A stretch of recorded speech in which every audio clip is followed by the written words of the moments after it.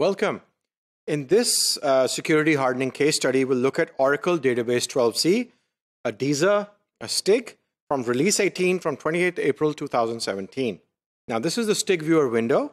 And uh, when you load that particular STIG, this is what the screen will look like. The rule title, the Oracle listener must be configured to require administration authentication.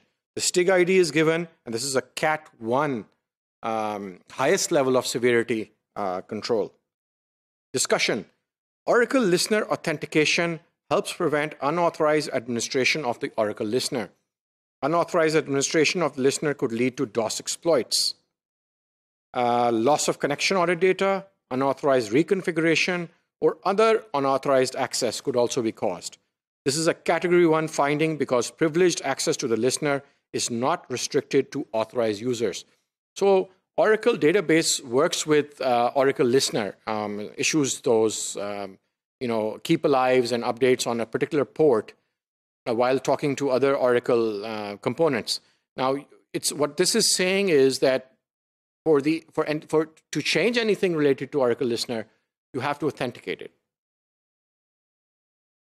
Um, unauthorized access can result in stoppage of the listener uh, denial of service, and overwriting of listener audit logs.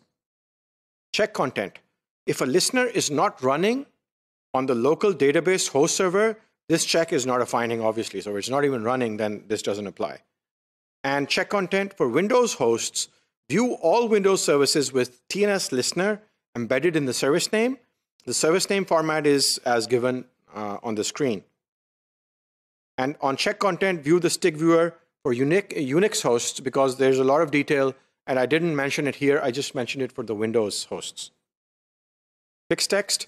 By default, Oracle Net Listener permits only local administration for security reasons. As a policy, listener can only be administered. Um, as a policy, the listener can be administered only by the user who started it.